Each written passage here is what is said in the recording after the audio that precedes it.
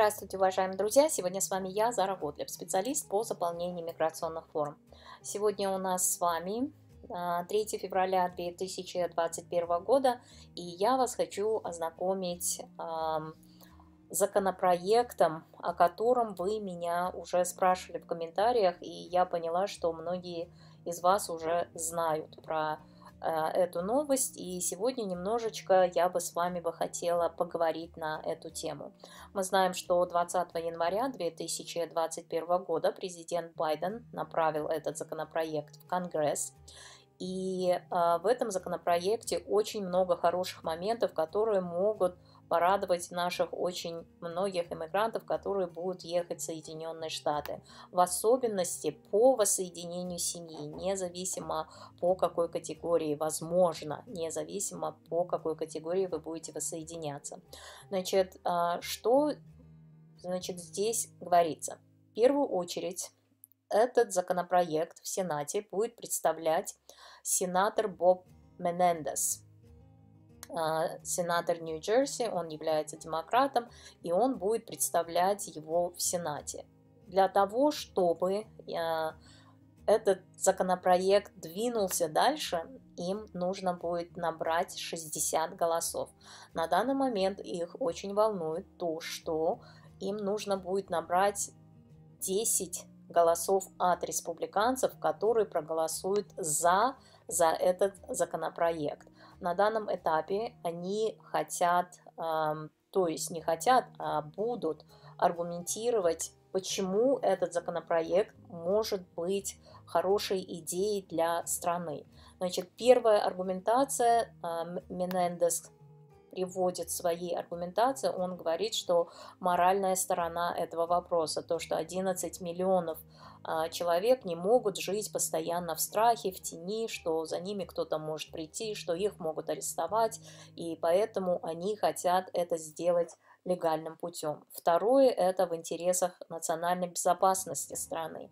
И третье, также они считают, что это будет хорошо в экономических интересах страны.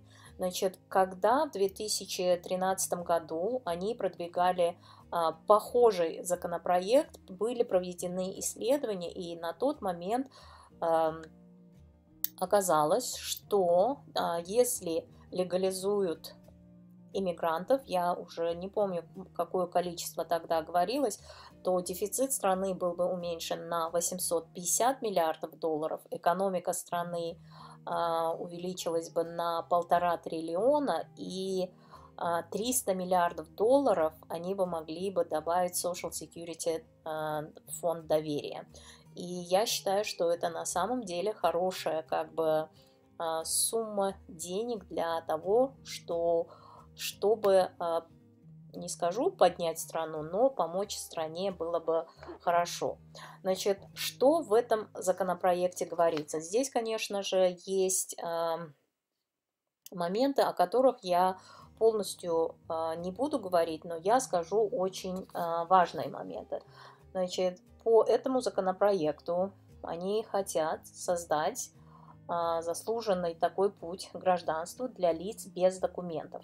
Также по этому законопроекту, этот законопроект будет разрешать лицам, не имеющих документов, подавать заявление на получение временного правового статуса с возможностью подавать заявление на получение грин-карты по истечении пяти лет при условии, что они пройдут background-чек. Background-чек – это проверка по вопросам уголовной и национальной безопасности, и если они будут платить, или если они платили налоги. Также мечтатели. Мечтатели это, здесь их по-другому называют dreamers, это те люди, которых э, везли детьми в страну нелегальным путем.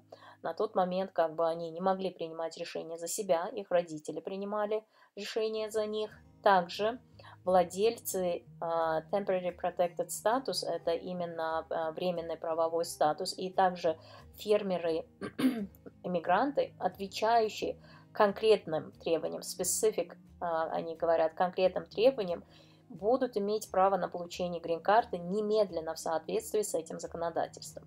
Дальше, по прошествии, по прошествии трех лет все обладатели грин-карт, которые пройдут опять дополнительную проверку и э, смогут демонстрировать знание английского языка, смогут подать заявку на получение статуса гражданина США. Заявители должны будут а, которые захотят, а, будут просить, они должны физически находиться в Соединенных Штатах не позднее 1 января 2021 года.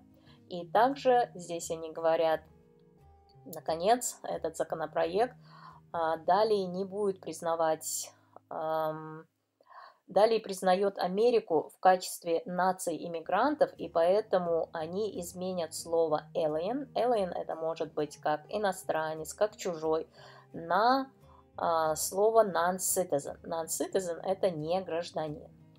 Хорошие новости, я бы сказала. Дальше. Следующее, следующее, это уже про семейную иммиграцию, про воссоединение.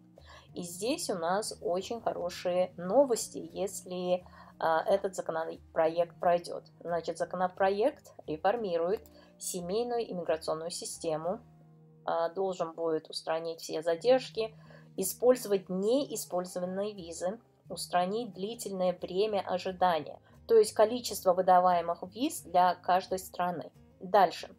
Кроме того, этот законопроект будет поддерживать семьи путем более четкого включения постоянных партнерств и ликвидации дискриминации в отношении ЛГБТ. Он, этот законопроект, также будет обеспечивать защиту детей, сирот, вдов, детей и филиппинских ветеранов, которые воевали вместе с Соединенными Штатами во время мировой войны. И, наконец, Значит, очень вот этот важный момент мне очень нравится. Этот законопроект разрешит э, будущим иммигрантам, получившим одобрение, дожидаться своей грин-карты в США.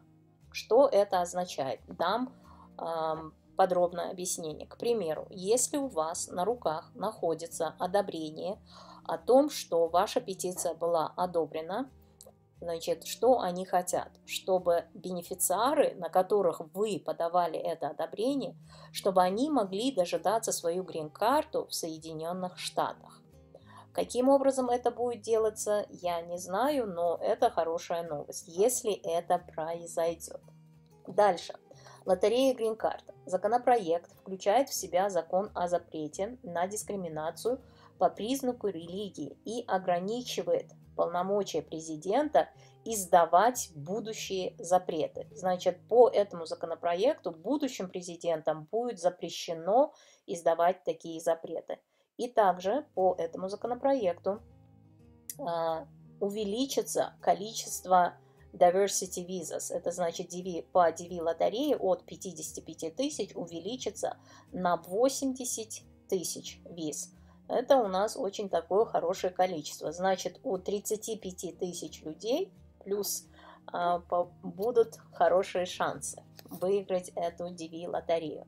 Дальше у нас идет здесь а, увеличение финансирования штатов, регионов для интеграции беженцев в американскую культуру и также их обучению английскому языку. Кстати, я работала переводчиком вот для такой организации – где они обучали а, беженцев, которые приезжали сюда, в Соединенные Штаты, а, общению на английском языке, значит, им помогали с резюме, им помогали, то есть проводились эти занятия, как нужно себя вести во время интервью, как нужно отвечать, значит, как нужно одеваться, даже они их учили тому, что а, когда вы идете на интервью, нужно принять душ, пойти свежим, не душиться там сильными такими духами, потому что у человека может быть аллергия. В целом, очень такие интересные классы были. Вот вспомнила, хороший такой опыт у меня был. Дальше, а,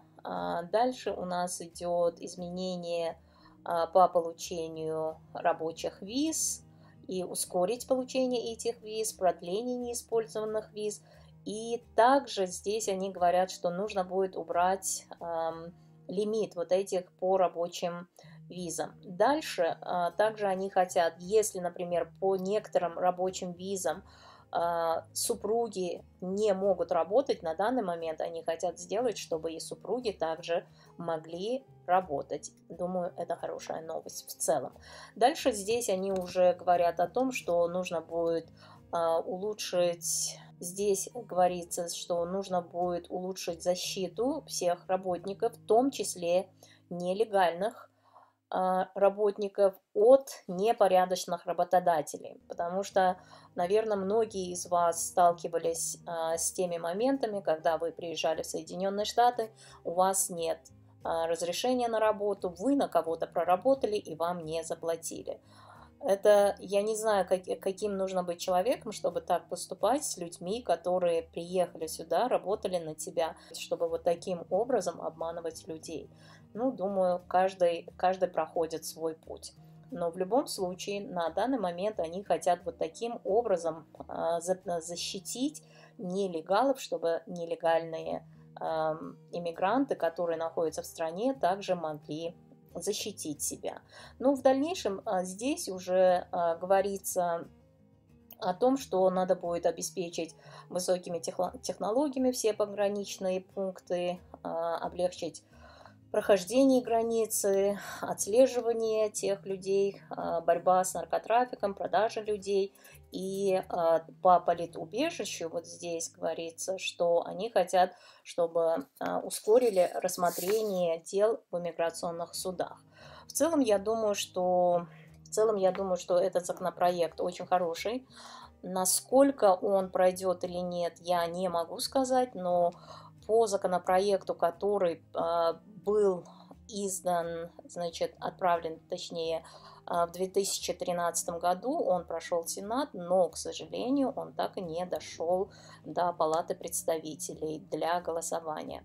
Но на данном моменте, так как демократы на данном этапе лидируют, я бы сказала, а, в этом, то я думаю, что должно быть все хорошо. И если это пройдет, то те, кто ожидает своего воссоединения, а, со своими родственниками. Я вот честно говорю, я не могу представить, как такое будет возможно, но если это произойдет, это просто супер новости. Если у вас на руках будет одобрение от USCIS, что ваша петиция одобрена, они говорят, то ваши родственники смогут приехать в Соединенные Штаты и дожидаться своей грин-карты здесь. Ну, просто супер новости. Вот такие, друзья, у нас эм, с вами новости, но опять-таки повторяю, это только законопроект, он еще не принят. Конечно же, над ним будут бороться, а, с ним а, по этому законопроекту, возможно, будут вноситься какие-то изменения, но мы посмотрим, а мы с вами пока остаемся на связи, когда у меня будут новости по изменению прокламации или же другие новости, которые вас порадует, обязательно я с вами поделюсь. Спасибо большое всем а, за ваши комментарии, обязательно вернусь и отвечу на них. И на данный момент сильно занята, поэтому а, задерживаюсь с ответами. Всего доброго, друзья, остаемся на связи.